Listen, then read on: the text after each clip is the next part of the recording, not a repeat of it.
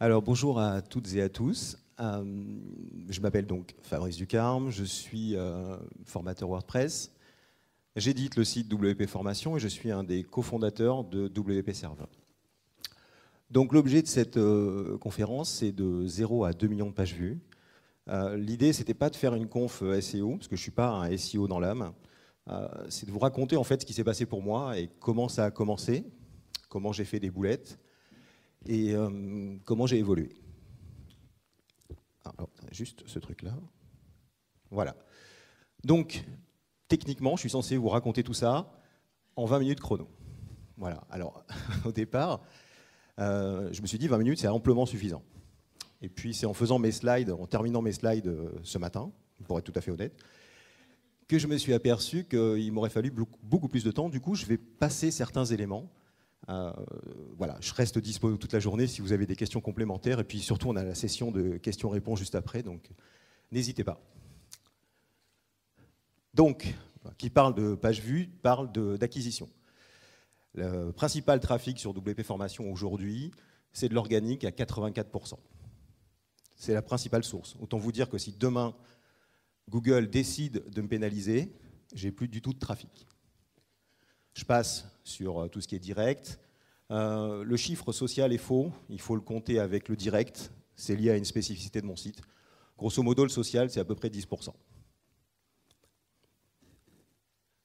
Donc, si vous êtes de Marseille, Cagade, ça doit vous parler.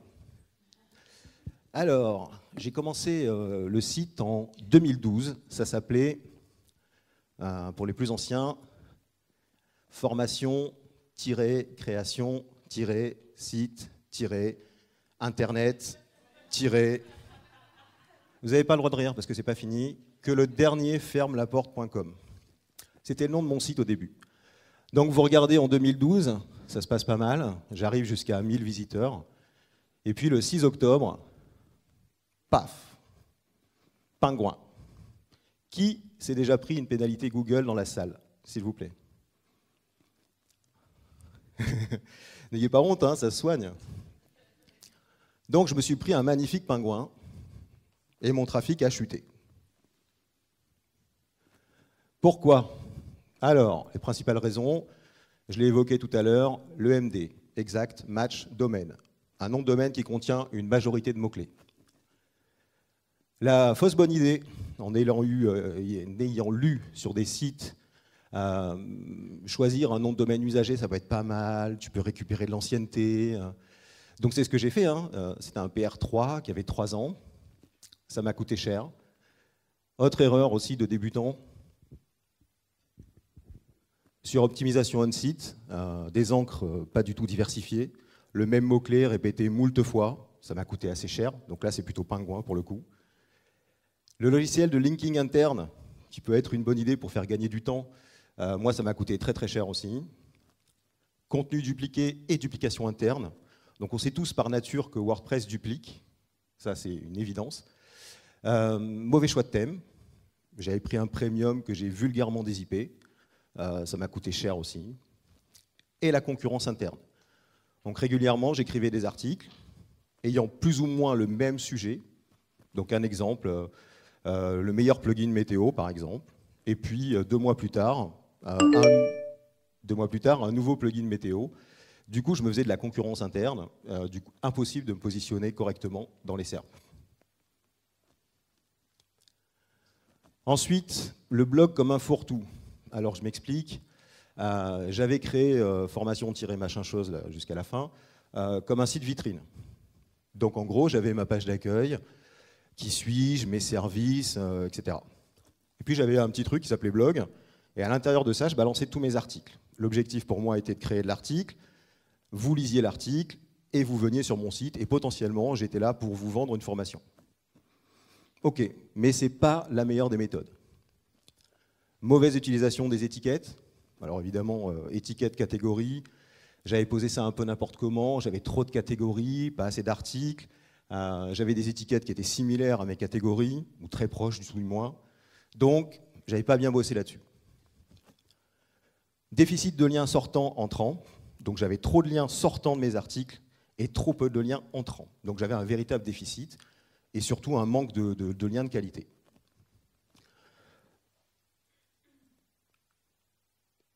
Alors, comment j'ai d'abord vécu ça? Euh, J'ai rencontré un Belge euh, sur le site, que vous allez euh, bientôt entendre cet après-midi, qui s'appelle François Lamotte. Il avait un outil qui s'appelait Mitambo, qui a changé de nom depuis. Grâce à son aide, on a un petit peu étudié ce qui s'était passé sur WP Formation, et on a pris des mesures. Donc première des mesures évidentes, formation devient wpformation.com. À ce sujet, j'ai pris vite un nom de domaine. Encore une fois, le fait d'aller vite fait qu'on fait énormément d'erreurs. Il existait déjà un site qui s'appelait wp-formation.com. Et évidemment, je n'avais pas vérifié ça avant. Première petite erreur. Ensuite, suppression des liens externes inutiles. J'ai viré absolument. Donc là, imaginez bien que je suis pénalisé. Hein. J'ai plus du tout de visite sur le site, il n'y a plus rien. J'ai viré tous les liens des commentaires, tout le spamco. D'accord? Plombier Paris, euh, mauvais joueur de foot de Marseille, euh, tout ça, j'ai viré. Ensuite, j'ai nettoyé tous les widgets pub, affiliation, footer, j'ai tout remis au propre et j'ai limité au maximum le nombre de liens sortants. Bien sûr, j'ai quand même appris à utiliser le no-index et le no-follow sur les pages inutiles de mon site.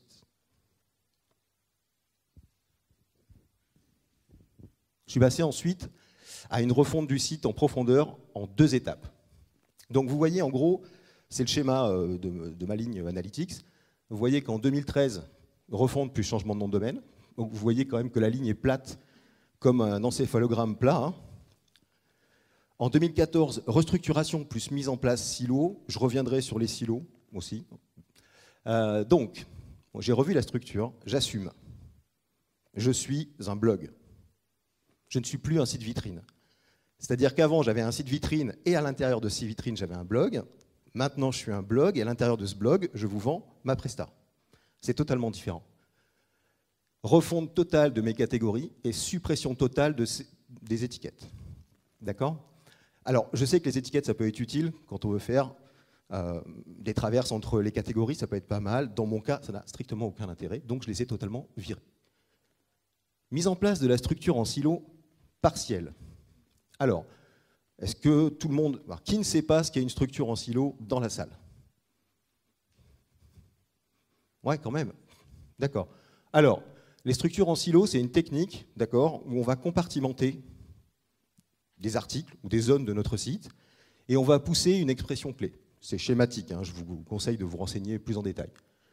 Pourquoi je l'ai mis en silo partiel? C'est-à-dire que j'ai simplement pas utilisé euh, pas le grand parti du silo. J'ai vraiment fait un silo qui n'est pas totalement étanche.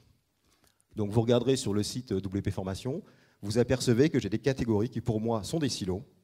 Tous ces silos sont dans une catégorie principale qui s'appelle WordPress.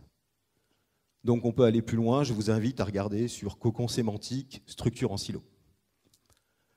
Et j'ai fait une refonte des menus. Donc j'ai choisi des termes de mon menu, en adéquation avec les silos.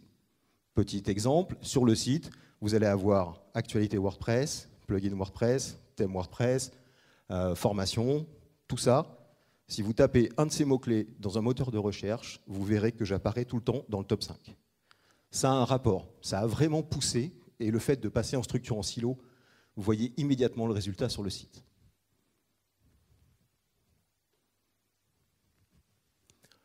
Ensuite, dès que c'est sorti, hop, AMP. J'ai pas attendu. D'accord? Dès que euh, Advanced Accelerated Mobile Page est sorti, je m'y suis mis immédiatement. L'app mobile également. Ça représente aujourd'hui 10% du trafic sur le site. C'est juste énorme. Enfin, J'ai été bluffé par les chiffres. Je vous ai mis quelques stats euh, concernant les résultats d'AMP. Et on voit aujourd'hui dans les résultats naturels, on voit apparaître des pages AMP dans les résultats de recherche. Donc plus besoin, je, schématise, hein, plus nécessairement besoin d'être dans Google News. Le simple fait d'avoir un site où vous proposez vos articles en AMP, vous pouvez vous retrouver dans les résultats euh, euh, des, box Google News. L'appli euh, WP Formation que j'ai utilisé via un plugin qui s'appelle WP App Ninja, j'ai fait ça comme ça en test en dilettante, et je m'aperçois que bah, ça plaît. Quoi. Donc vous avez euh, plus de 1700 enfin, 1600 téléchargements, et j'ai aujourd'hui encore 1182 installations actives, donc une vraie appli de téléphone. Apparemment, ça plaît aux gens. Et surtout, surtout, notez le taux d'ouverture moyen quand il y a une notification push via l'appli. En gros, quand je publie un article, ça part sur les applis des gens qui ont l'appli WP Formation, ils reçoivent une notif, et 18% de ces gens-là viennent consulter. C'est quand même 10 fois mieux, bah, bah 10 fois mieux j'exagère, mais c'est quand même 3 fois mieux que ma newsletter.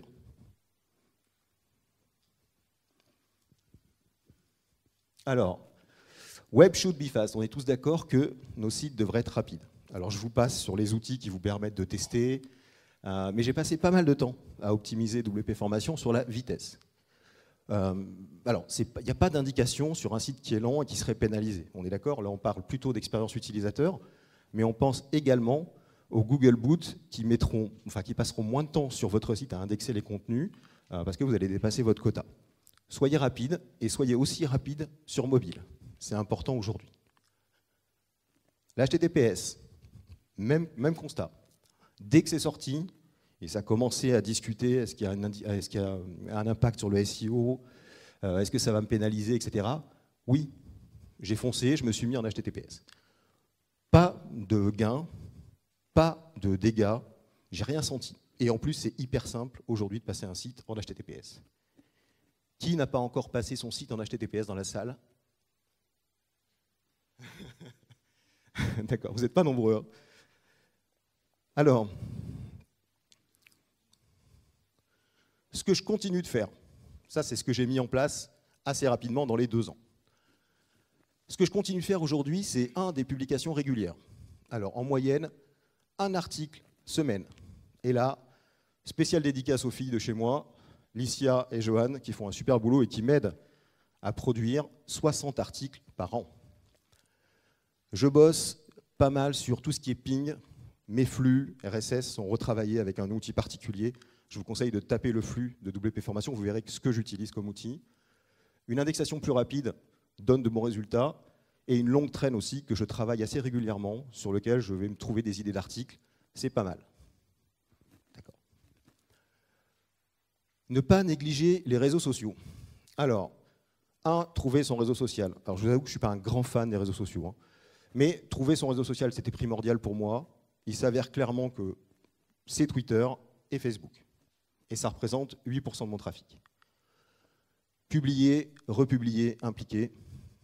Voilà, c'est la théorie. Euh, j'avoue que si on ne s'implique pas vraiment, on n'a pas de très bons résultats. Je suis certain que vous pourriez faire mieux que mes 8%. Retravailler le contenu existant. Alors ça, ça marche super bien. Vous avez écrit un article il y a deux ans, ce qui est mon cas. Euh, il est perdu dans les SERP. Vous le retravaillez, vous revoyez un petit peu la sémantique, vous remettez le contenu à jour, vous augmentez un peu le contenu, vous republiez, et pouf, ça remonte. J'ai certains articles aujourd'hui qui sont dans le top 10, qui étaient au fin fond des SERP. Le simple fait de le retravailler donne d'excellents résultats. Veille technique, concurrentiel WordPress. Donc en gros, sur Twitter, je regarde un peu ce que font les autres. Euh, ça me donne des idées d'articles. Je regarde un peu ce que font les sites euh, références euh, anglo-saxons. Je regarde un peu la concurrence. Ça, régulièrement.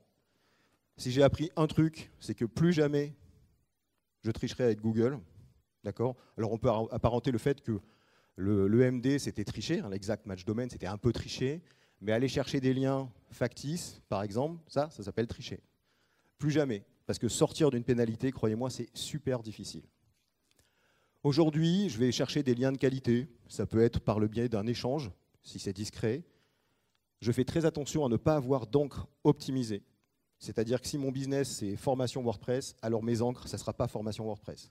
Ça sera apprends à créer un site avec PrestaShop. Pas PrestaShop, WordPress. Il ne faut pas déconner sur l'encre. Euh, et puis regardez un peu qui vous pompe le contenu. Euh, il y a un outil qui s'appelle Kill Duplicate qui est vraiment pas mal. On a parfois des surprises. Vous avez un type qui s'appelle Thierry Pigeot d'ailleurs qui arrête pas de me piquer des contenus. Il faut que je le trouve celui-là. Ah bah il est là. Alors un truc qui cartonne, j'ai adoré ce truc, ça m'a beaucoup euh, plu. Ça s'appelle la position 0. Le 9% que vous voyez là, c'est l'augmentation du trafic sur cet article. Simplement, Parce que Google, que je connais très bien, qui est un ami euh, personnel, a décidé de me placer en position 0. Qui sait ce qu'est la position 0 Le monsieur en rose, vous savez, vous? D'accord, merci. Donc la position 0, vous n'y pouvez rien. Ce n'est pas vous qui décidez. Google va placer certains, euh, certains articles, pages, comme ça, ce rendu-là. Alors il y a des moyens pour obtenir ce rendu-là, mais vous n'avez aucune garantie sur la position 0. Euh, dans tous les slides de la conf qui, qui seront disponibles, vous avez des, couleurs oranges là, c'est euh, du, lien hypertexte. Ça vous renverra sur un article référence qui traite de la position 0. Alors ce qui est, drôle, j'y reviens deux secondes, avec la position 0, c'est que vous n'êtes pas obligé d'être en, première position, ni même en deuxième, ni même en troisième. Jusqu'à la position 5 dans les SERP, vous pouvez attraper la position 0. D'accord? Il suffit simplement que votre article ou page soit correctement travaillé.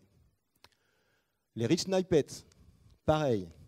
Obtenir un rich snippet, c'est 5% de trafic en plus sur l'article. Donc sur la photo de droite, sur l'image de droite, pardon, vous voyez aujourd'hui AdWord. Ensuite, vous voyez la position 0. Et vous terminez avec un rich snippet. Les rich snippets, donc ça peut être de l'aggregate rating, comme ici, c'est-à-dire les notes des lecteurs de mon article qui vont mettre une note de 0 à 5. Ça peut être des recettes de cuisine, ça peut être des dates, ça ne se limite pas uniquement à des petites étoiles, on est d'accord. Comme je ne propose pas de recettes de cuisine, comme je n'ai pas de date à vendre dans mes articles, j'ai plutôt mis de l'aggregate rating. Attention, si vous abusez de ça, vous pouvez vous faire pénaliser par Google.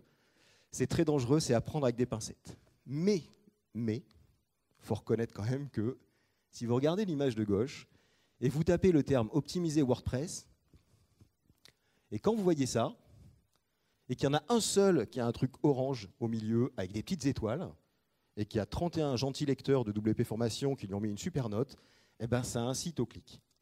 Alors avant de le mettre en place, j'ai pris des mesures. Donc j'ai appliqué euh, l'aggregate rating uniquement sur un ou deux articles, de manière à pouvoir en mesurer l'impact. L'impact est de 5% d'augmentation. Imaginez si vous faites ça sur tous vos articles. Vous allez prendre un trafic, plus que 5 minutes, vous allez prendre un trafic supérieur, d'au moins en tout cas dans mon retour d'expérience, 5 points. Faites-vous confiance, je ne suis pas un profil SEO. On est en 2017, ça fait 5 ans que je fais du WordPress. D'accord? Je me suis pris un pingouin, un panda, tous les animaux de Google, j'y ai goûté. D'accord? J'ai demandé à des sociétés de référencement, hey, j'aimerais être dans le top 10 sur WordPress. Le mec, il s'est marré, il m'a dit Mon petit gars, c'est pas possible. Voilà, il faudra lâcher énormément d'argent. Eh bien, c'est possible. Voilà, donc, phase, phrase type du vendeur de rêve. Coucou euh, Aurélien A. Euh, c'est possible. C'est tout à fait possible. Bien, qu'est-ce que j'utilise comme outil? Ben, Il n'y a pas de recette miracle, en fait, clairement. Euh, Yoast SEO qui est extrêmement décrié, mais je suis désolé, messieurs, mais dames, pardon, je suis désolé, mais ça reste un outil qui est toujours gratuit, qui donne pleinement satisfaction. Il ne fera pas le job à ma place, mais en tout cas, ça s'améliore. Voilà. Alors, il y a une solution euh, française que je vais citer parce que c'est une solution française qui s'appelle COPress qui donne également de bons résultats. Moi, je suis vieux, donc je reste avec Yoast et ça me va très bien. Pour AMP, j'utilise Accelerate Mobile Page, AMP for WP, que vous trouverez sur le repo, c'est gratuit. Euh, l'avantage de celui-là par rapport à la solution native, c'est que j'ai moins de bugs. Et deuxièmement, il est capable de gérer l'aggregate rating, les petites étoiles. Il est capable de gérer instant euh, Facebook. Tout ça en un seul et même plugin. Et c'est gratuit. Pour la solution application, j'ai utilisé WP App Ninja. Ils m'ont créé une application WP Formation qui est compatible iPhone et Android. Pour tout ce qui est suivi de liens, j'utilise un plugin radical qui s'appelle NoFollow All External Links. En gros, quand je fais un lien sur mon site, c'est NoFollow. Et si je veux donner du jus, j'ai qu'à rajouter la classe follow, ça se fait automatiquement, euh, enfin facilement, pardon, et je peux balancer du jus sur l'article que je link. Kakastar Ratings. Alors celui-là, c'est ce qui me permet d'avoir les rich snippets, d'accord? Plugin gratuit, qui vous permet de limiter à une IP par vote. Revive Old Post. Ça me permet de republier régulièrement mes articles sur Facebook, Twitter, LinkedIn. Je me suis amusé également avec Socialimap, qui est un super outil qui, à mon sens, aurait dû, enfin, cartonne. Le problème, c'est qu'il est trop cher et ils viennent d'augmenter le tarif. Donc, je vous, voilà, si vous avez beaucoup d'argent, Socialimap. Si vous êtes fauché, Revival Post.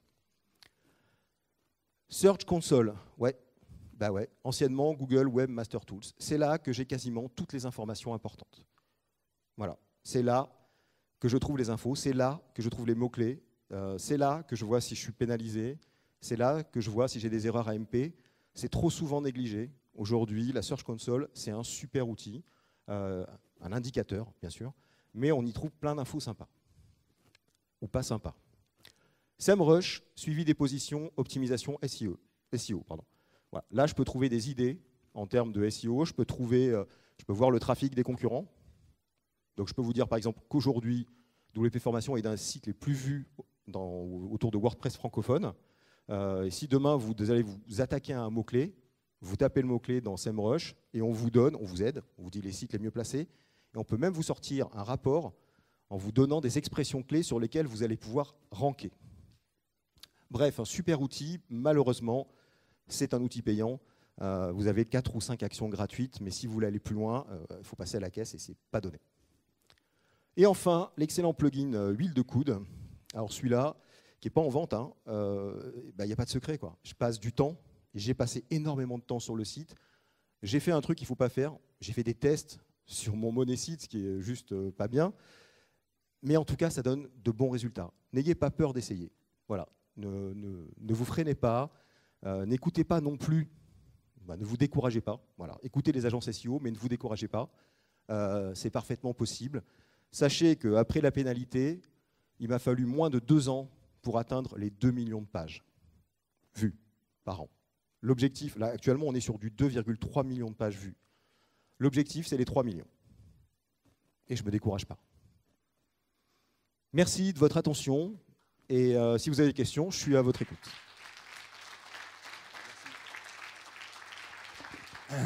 Merci Fabrice. Euh, déjà bravo, tu as réussi à passer les, les expressions marseillaises. Hein. C'est un challenge pour tous les orateurs. Merci. On a repéré. Après, il y a une porte de secours pour tous les ennemis que tu t'es fait par là-bas. voilà. Et euh, bah, vous, les questions, vous levez la main et il y a un des Schtroumpfs qui va vous donner un micro.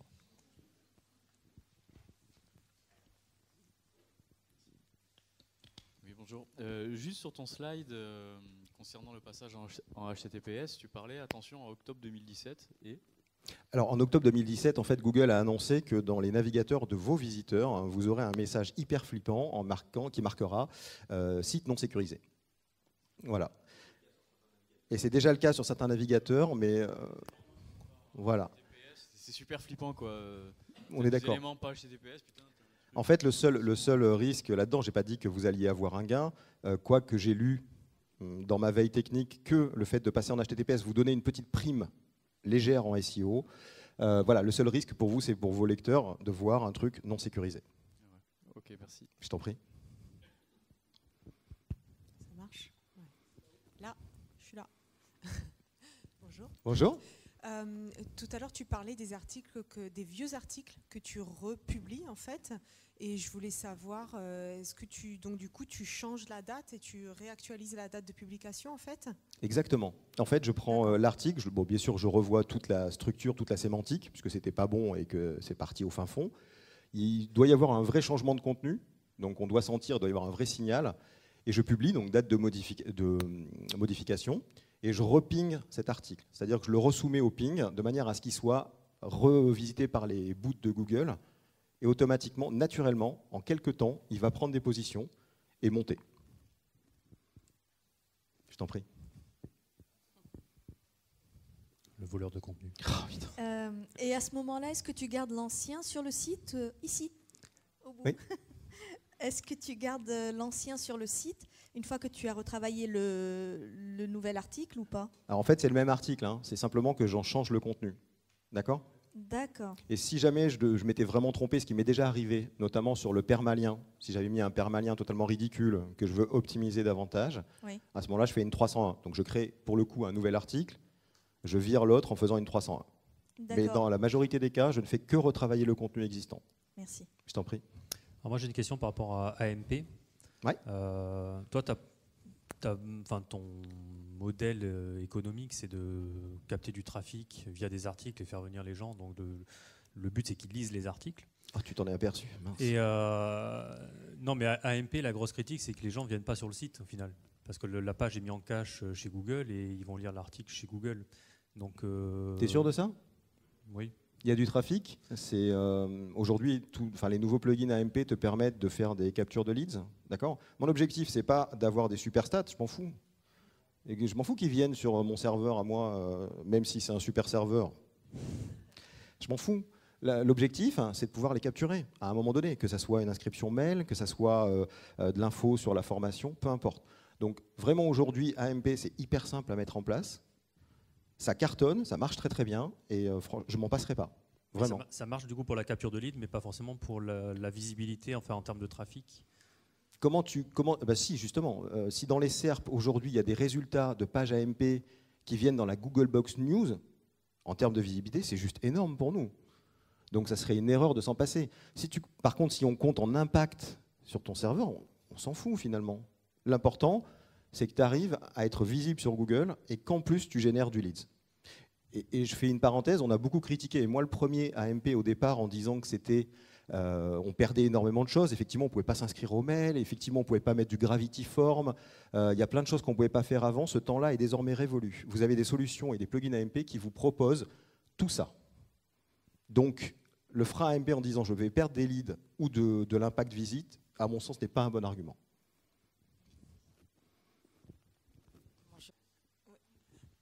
Euh, bonjour.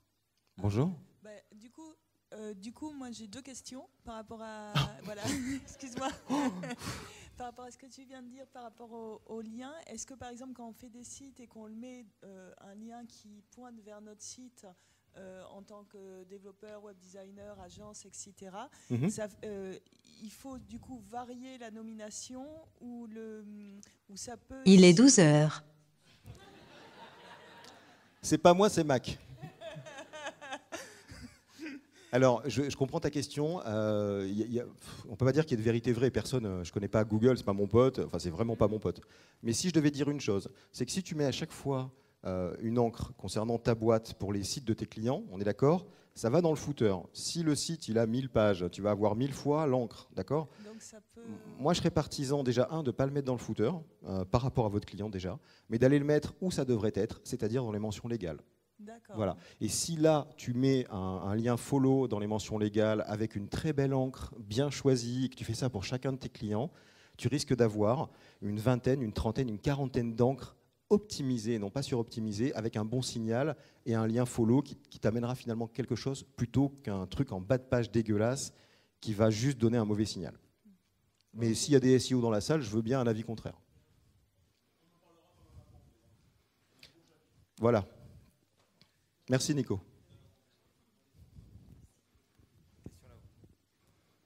Bonjour. Bonjour. Euh, J'aurais aimé savoir si dans toutes les mesures que tu, que tu as prises, est-ce que tu as mis en place également une, euh, une stratégie de backlink et quel a été son impact? Excellente question. Alors, pour être tout à fait honnête, euh, j'ai travaillé tout le contenu du site et j'ai jamais été chercher du backlink. Voilà. Alors, il y a- je mets quand même un bémol. Euh, j'ai démarré le site, j'ai commencé à écrire une trentaine d'articles, une quarantaine d'articles. Donc, j'ai pu- faire ce qu'on appelle du linking interne. J'ai pas été chercher du backlink euh, dans des annuaires ou sur des services spécialisés. D'accord? Le trafic aujourd'hui généré sur WP Formation, les backlinks qui sont apparus sont des backlinks naturels, faits par des gens qui ne m'ont pas demandé une contrepartie.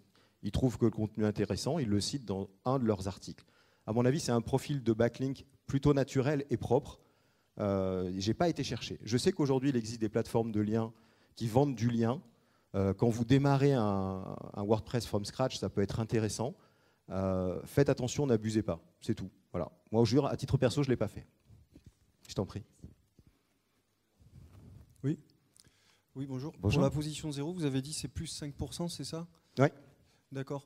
Et est-ce que vous avez vu une différence? Parce que euh, déjà, je voudrais savoir si l'image qui s'affiche, c'est la vôtre. Parce que je sais que depuis trois mois, euh, Mhm. il affiche euh, à la fois un contenu qui provient du site qui est en position 0, un contenu textuel, et une image d'un concurrent. Oui, je confirme que c'est. Ça, c'est pénible en fait. Ouais, c'est extrêmement pénible. Alors, j'ai eu le cas. hein. Donc, j'avais Ouais. mon contenu et dans l'image, c'était l'image d'un site concurrent. Ouais. Euh, je te cache pas que finalement, il vaut mieux avoir le contenu et le, et le lien plutôt que l'image, parce que c'est quand même assez rare. Mais oui, j'ai déjà vu ce cas-là. Je pense que c'est, ils estiment qu'une image est plus appropriée et il prend le contenu ailleurs. Il prend le meilleur du texte et de l'image en fait. Exactement. Et donc ça peut euh, souvent si l'image elle est bien euh, elle est, elle est bien optimisée et tout, ça peut aller chez le concurrent alors que ça affiche votre Ouais. contenu. Et si elle est bien optimisée, je me suis aperçu d'un truc, mais ça c'est en off. euh, je me suis aperçu que si je remplis la description de l'image, j'ai plus de chances d'être moi dans la zéro avec mon image. D'accord. C'est mon, idée. Ouais, ouais. Voilà. Mm. J'ai pas dit que j'avais raison. Il Alors, est tu- midi 5. tu c'est as moins que- sexy que Mac, hein, pardon. C'est la dernière question. Dernière question. Euh, tu as dit que tu avais changé ta stratégie. Tu avais un site vitrine dans lequel tu avais un blog. Tu es Ouais. passé d'un- à un blog dans lequel il y avait un site vitrine. Ouais. Est-ce que tu peux euh, juste e- expliquer ça et, et- et comment et c'est quoi le cheminement de, de l'internaute? C'est-à-dire que tu l'amènes à l'article via le référencement, mais une fois qu'il est sur l'article, comment tu l'amènes à tes services et produits? C'est D'accord. quoi le cheminement? Alors, euh, en fait, à la base, j'ai fait euh, ce qu'on appelle le vulgaire vitrine. Enfin, pas vulgaire, c'est pas péjoratif de ma part. C'est plutôt le blog qui était mal considéré euh, à l'époque. Je me suis aperçu finalement que j'avais des gens qui venaient sur mon site, mais c'est que des gens qui venaient par des articles que j'avais écrits. D'accord? Des articles d'infos, hein, bien sûr, hein, sur des plugins, sur des thèmes, sur des, tutos. La réflexion m'est donc venue en me disant, mais les gens viennent très peu euh, par, ma, page d'accueil, ils viennent très peu sur le terme générique formation WordPress ou formation Internet, donc je vais tourner ça à mon avantage. Plutôt que de rester sur un vitrine traditionnel, je vais devenir un vrai blog. Objectif, être une référence dans la sphère WordPress, une référence d'information, j'entends. hein. Et ensuite, à côté de ça, mes services, ils sont dans une barre latérale, sur le côté. Du coup, très peu d'appels à l'action, limite le choix et génère plus de leads. Il y a des liens directement vers chacune des formations que je propose. Voilà. Je t'en prie. Merci Fabrice, je suis sûr qu'il y a encore plein de questions et tu es disponible. Bien sûr, Hein, je suis, euh, vers le stand VP Server. Je suis là toute la journée. Voilà, donc n'hésitez pas à poser des questions. Merci à tous de m'avoir écouté. Vous avez tous été super. Merci encore.